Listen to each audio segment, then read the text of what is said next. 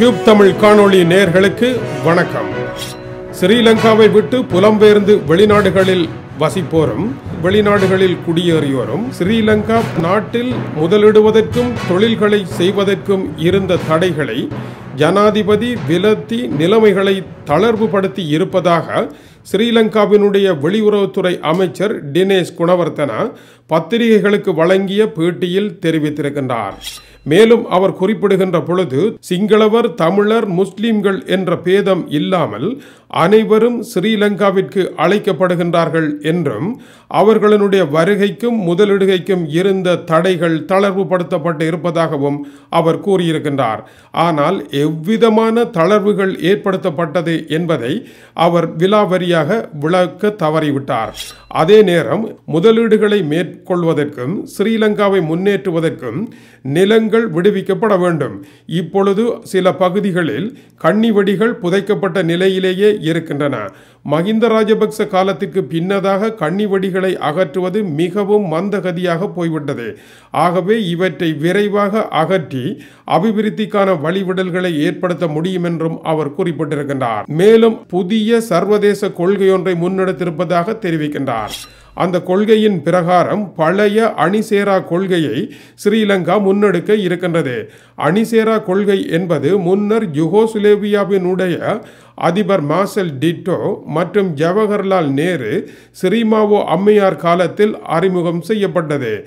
கிழக்கு அணி என்கின்ற கம்யூனிச அணியுடனும் மேற்கு அணி என்கின்ற பணக்கார அணியுடனும் சேராமல் அனைவருடனும் இணைந்து புதிய ஒரு அணி சேராத நிலையை உருவாக்குவது என்கின்ற பஞ்சசீல கொள்கை இதுவாகும். ஏற்கனவே தோல்வியடைந்து போன இந்த கொள்கையை மறுபடியும் ஸ்ரீலங்கா பின்பற்றுவதற்கான காரணம் இந்தியா பாகிஸ்தான் முரண்பாடுடைய நாடுகள் சீனா அமெரிக்கா முரண்பாடுடைய நாடுகள்.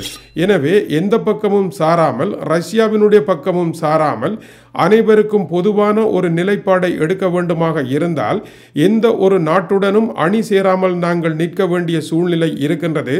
ஆகவே ஸ்ரீலங்கா பழைய அணிசேரா கொள்கையை கடைபிடிக்க இருப்பதாகவும் அவர்களுடைய புதிய வியூகத்தை தெரிவித்தார்.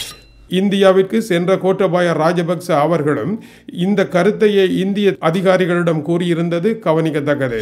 அதேவேளை ஸ்ரீலங்காவுக்கு எதிராக போர்க்குற்றம் கொண்டு வரப்பட்ட ஐக்கிய நாடுகள் மனித உரிமை கவுன்சிலின் முப்பது ஒன்று முப்பத்தி நான்கு ஒன்று ஆகிய சரத்துக்களை ஸ்ரீலங்கா ஏற்று அதற்கான நடவடிக்கைகளை எடுக்கும் என்று இனி எதிர்பார்க்க முடியாது. அவற்றை நீக்குவது எப்படி என்பதற்கான நடவடிக்கைகளையே எடுக்கும் என்றும் கூறிய அவர் முன்னர் இருந்த நல்லாட்சி அரசாங்கம் பல விடயங்களில் ஆமோதித்து கையெழுத்திட்டு இருப்பதாகவும் ஆனால் அதில் ஒரு பிரச்சனை இருக்கின்றது. பாராளுமன்றத்தின் அனுமதி இல்லாமல் அவர்கள் கையொப்பமிட்டிருக்கின்றார்கள். எனவே அதை நீக்குவதற்காக முயற்சி எடுக்கப் போகின்றோம் என்று அவர் கூறுகின்றார். இவ்வாறு பாராளுமன்றத்தின் அனுமதி இல்லாமல் கையெழுத்து வைத்தால் தமக்கு பின்வருபவர்கள் ஏமாற்றலாம் என்கின்ற நோக்கத்தில் அவர்கள் வைத்திருக்கின்றாரா என்பதை அமைச்சர் விண்டுரைக்கவில்லை. பிரித்தானியாவில் ஸ்ரீலங்காவுக்கு எதிராக கொன்சர்வேட்டிவ் கட்சியினுடைய தேர்தல் அறிக்கையிலே இலங்கையில் இரு நாடுகள் வேண்டும் என்று கேட்கப்பட்டிருக்கின்றதே அதற்கு உங்கள் பதில் என்ன என்ற கேள்விக்கு அவர் கூறுகின்ற பொழுது டிசம்பர் பன்னிரண்டு பிரிட்டனில் தேர்தல் நடைபெற இருக்கின்றது. பிரிட்டனில் யார் ஆட்சிக்கு வரப்போகின்றார்கள் என்பதை தீர்மானிக்கும் சக்திகளாக தமிழர்களும் இருக்கின்றார்கள். எனவே தமிழர்களை குஷிப்படுத்துவதற்காக இவ்வாறான ஒரு பிரேரணையை முன்னர் டேவிட் கெமரோன் காலத்திலும் கூறியிருந்தார்கள் அது வெற்றி பெறவில்லை. இப்பொழுது பொரிஸ் ஜோன்சனும் கூறியிருக்கின்றார் காரணம் பெரும்பாலான தமிழர்கள் தொழிற்கட்சிக்கே வாக்களிப்பார்கள். இவர் இவர்களை மடைமாற்றுவதற்கான ஒரு உத்தியே அல்லாமல் இதில் வேறொன்றும் இல்லை என்றும் அவர் தெரிவித்தார்.